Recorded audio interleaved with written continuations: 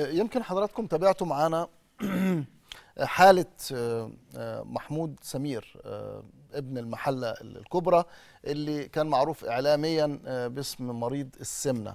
إحنا اتكلمنا مع محمود أكتر من مرة. اتكلمنا مع الدكتور خالد جودة اللي عمل له عملية العملية الجراحية اللي نزلت وزنه يعني كان فوق ال 250 257 كيلو.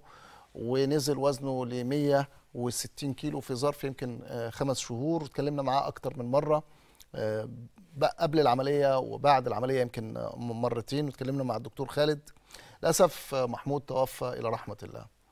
النهارده أبناء المحلة شيعوا جثمان محمود سمير.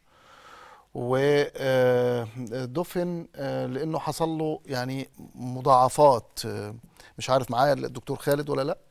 معانا الدكتور خالد. دكتور خالد جودة أستاذ أستاذ جراحات السمنة المفرطة بطب عين شمس معايا دلوقتي على التليفون. دكتور خالد مساء الخير والبقاء لله في وفاة محمود.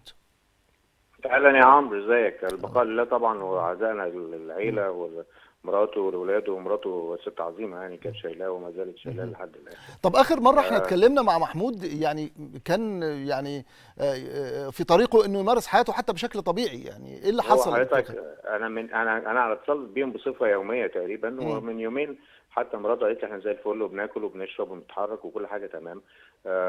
امبارح آه كلمتني قالت لي هو نفسه تعبان. نفسه تعبان دي مش مضاعفات لأن حضرتك أنت قدمت قلت في مقدمه حضرتك مضاعفات دي حاجة مالهاش أي علاقة بسمنة أو بجراحه سمنة. حد نفسه تعبان وإحنا أنت عارف الأسبوع اللي فات كان ساقع جدا فممكن يكون الناس بيجي لها التهابات رئوية التهابات رئوية آه. ممكن انت عارف طبعا أكتر حاجة بتعمل تعب في النفس اليومين دول الكورونا. فإحنا هو قالت لي إن نفسه تعبان قلت لها طب الحقي يجري على أقرب مستشفى ليكي. فراحت القصر اللي هم بيسموه القصر هناك اللي هو المستشفى وزارة الصحة اللي جنبيها وما أعرفش يبدو إن هم ما لحقوش ينقذوه. إنما آه هو كان لحد من يومين يعني الدنيا زي ما إحنا عايزين وماشي كويس وبياكل وبيشرب ويعمل كل حاجة. فاللي حصل ده قضاء الله وقدره وربنا عايز كده. آه بس ده يعني مش فاهم جاي مضاعفات إيه. مضاعفات إن هو سمين ما هو خلاص خس. أعتقد إن وصف المضاعفات ده كان غير موافق. مش مش صحيح. آه يعني هو غالبا اللي حصل ان هو يا إما اشتباه كورونا يا إما اشتباه يمكن يمكن اشتباه كورونا أو أو التهاب رئوي حاد مثلا؟ أو التهاب رئوي نزع لأن إحنا كان الدنيا برد جدا.